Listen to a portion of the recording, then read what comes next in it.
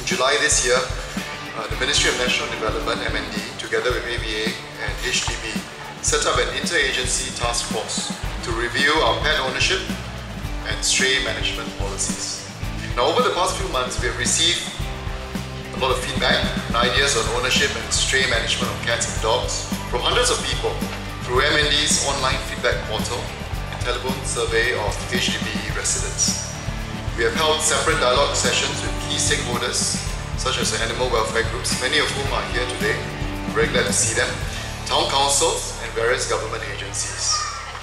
I also hosted a special focus group discussion involving all the stakeholders, including residents, grassroots leaders, animal welfare groups, and the public agencies, agencies to share firsthand the respective views on cat and dog ownership and stray management.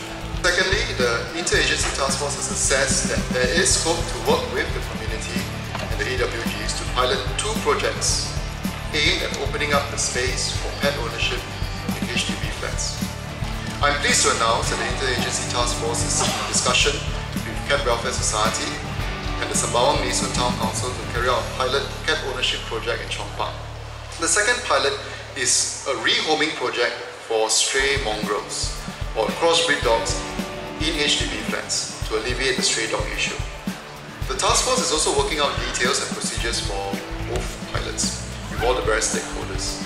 So I would like to highlight that the animal welfare groups play a very key role in conducting these pilots as we believe that a community-driven approach is a much better way forward to ensure responsible pet ownership and to create a shared living environment for all of us.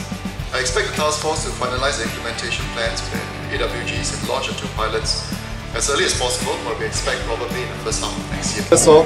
Uh, what I want to say is to really acknowledge and thank the groups who come on board. I they've made a tremendous difference. Uh, I commend them for their passion.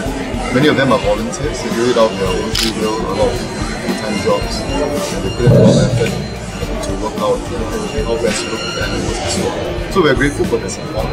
But I think in, in society, especially for us here, uh, when you're living in fairly confined spaces, there needs to be the give and take. And so a lot of it is slowly building up that sense of confidence and honesty. And we're quite confident that we can do that.